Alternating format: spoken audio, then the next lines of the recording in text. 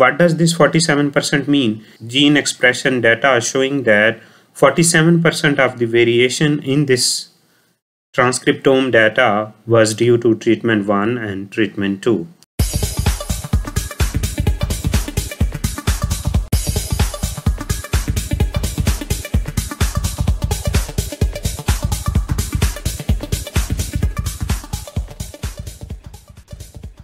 Welcome to another video tutorial. In this video, I will tell you how we can interpret the results of principal component analysis in RNA-seq data.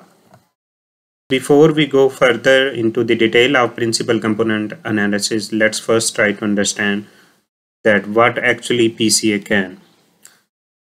In this example, let's try to understand the gene expression data which has been plotted in the form of these samples you can see here there are actually two treatments and each treatment is mentioned with a different color. Here is one green color and one is blue color. So each treatment has three biological repeats so there are totally six samples. You can see here all of these six samples have been randomly placed in this space. So what does the PCA will do? PCA will actually rearrange all these samples and will place the similar or the correlated samples into one group and you can see in this group the samples are more correlated and in this group samples are more similar. Now let's try to understand that how PCA can help us to understand the correlation between the treatments. So let's take another example. Here is another treatment and this treatment has three samples you can see here all the sample of this treatment has almost the same x value and same y value. Here is another treatment.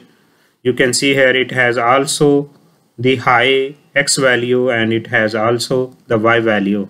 So if we try to plot a trend between these two treatments you can see here it is showing a positive correlation. So what does this mean?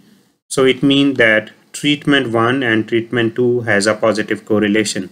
So if you have also a similar figure in which the treatment samples are placed in this trend, so it means those samples have a positive correlation.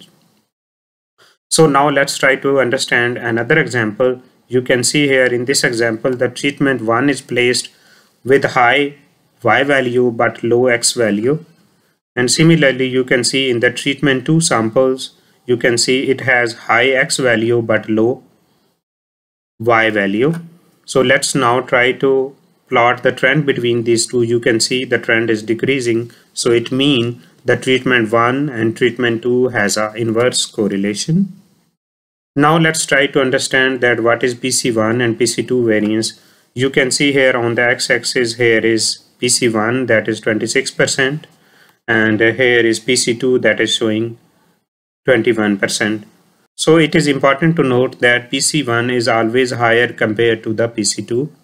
So you can see here, here the PC1 is 26% and PC2 is 21%. If we try to sum up this PC1 and PC2, it is almost 47%. What does this 47% mean? It means this gene expression data showing that 47% of the variation in this transcriptome data was due to treatment 1 and treatment 2. But let's suppose we have a condition where there are more treatments and uh, more PC, then what would be the solution? So it means there would be more than two principal component analysis. Let's try to understand through this example. You can see here in this example, there are 14 samples and 10 principal component analysis and here is the value of principal component analysis.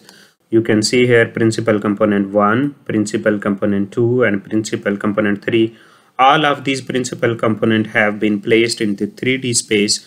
It is important to note that always pc1 is higher compared to the pc2 and the pc2 is higher compared to the pc3 so it means that as the number of treatments goes higher the number of principal component will also be more.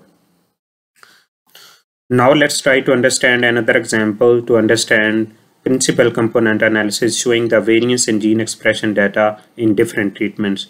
The PC1 is 56%, PC2 is 31%. So the cumulative of PC1 and PC2 is 86%. So how about that remaining 14%? So let's suppose if there is another treatment which is called treatment 3 and PC3 in this example is 12%. So what would be the cumulative of this? You can see PC1, PC2 and PC3 is making up to 98% of the variation in this transcriptomic data. Now let's try to understand that what we can interpret from PC1 and PC2. So PC1 reveals the most variation while PC2 reveals the second most variation. So if a transcriptome has high PC1 and PC2, it means the quality of transcriptome is good because most of the variation in gene expression under study is due to only this treatment. But if any transcriptomic data has low PC1 and low PC2, it means that some variation are still not covered in these treatments and there is a need to incorporate more treatments Principal component analysis can be represented through this score plot. You can see here in the score plot there are two component principal component 1 and principal component 2. PC analysis can also be represented through this scree plot. You can see here usually a scree plot has 10 principal component and PC1 is higher compared to the PC2 and PC2 is higher compared to the PC3 and so on. PC analysis can also be represented through this loading plot. You can see here, here all the sample have been placed randomly in their space. So what we have understood so far that what is PCA in RNA-seq? So actually PCA uses the linear combination of the gene expression values to define a new set of unrelated variables. So what are the benefits of PCA in RNA-seq? PCA can help us to reduce the dimension of dataset PCA can also help us to show the similarities between datasets which are correlated to the distances in the projection of the space defined by the principal component. PCA can also help us to identify the outlier with respect to the principal component. Hopefully now you have understood that why we use PCA and what are the benefits of PCA in RNA-seq. However, if you have still any question related to the PCA in RNA-seq data, please let me know in the comment section. Thank you for watching. Bye bye